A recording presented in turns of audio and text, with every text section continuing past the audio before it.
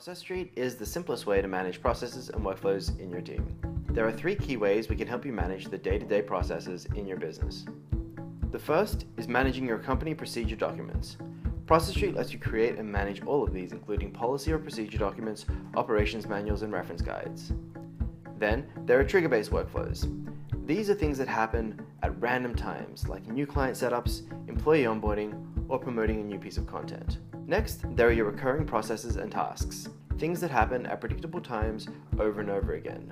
These include daily or weekly tasks, monthly newsletters, and performance reviews. In this demo, we're going to cover procedure documents first. Process Street lets you write documents in seconds from anywhere, with simple drag and drop and keyboard shortcuts. We autosave as you write, plus version the documents automatically. You can use rich content such as files, images, and video to add depth to your documents, Control permissions on documents and folders to manage who can edit and view different processes. Use groups to help make managing these permissions easy.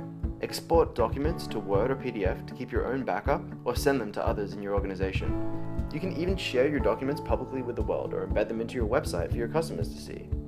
Documenting your processes is great, and it's something you should definitely be doing. But where Process Street really excels is in actually helping you execute these processes, collaborate with your team, and make sure things get done right every time. That's where Process Street is really different. With Process Street, you can turn your documents into workflows. The first kind of workflow I want to talk about is trigger-based workflows.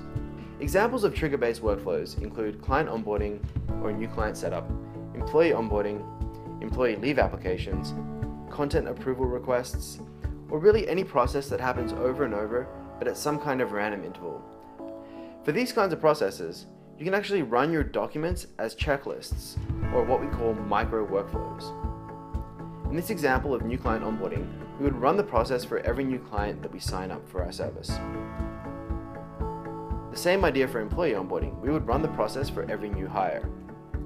Once you have an active process running, you can invite your team to collaborate and help you complete the process. Track activity from the dashboard or with our detailed activity log and audit trail, so you know exactly who did what when.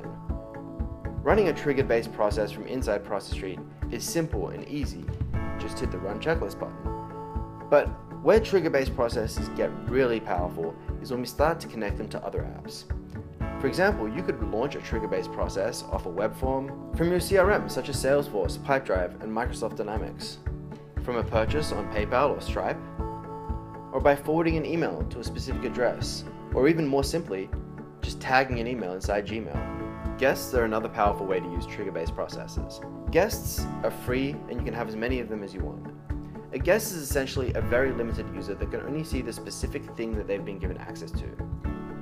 This is a great way to work with customers or clients for things like requirement gathering, or to work with your suppliers, for example, working with your lawyers to do contract approval flows. The last key area Process Street can help you with is with your scheduled processes. This includes any kind of daily or weekly task, monthly reporting such as sales or cash flow reports, or machine and building maintenance. You know, things that need to get done over and over again at regular intervals. To manage scheduled processes with Process Street, simply go to one of your process templates that you created and set a schedule to run the process. You can set the schedule to run for daily, weekly, monthly, or yearly recurring. You can assign different team members and set due dates on the template. Whenever the template is due, it will automatically be run, it'll be assigned to the team members, they'll get notifications, and you can come in and make sure that that recurring process was done. These are just some of the many things you can do with Process Street. Check out the user guide for a breakdown on how to use all the specific features. And thanks again so much for taking the time to check out Process Street. I look forward to seeing you on the inside.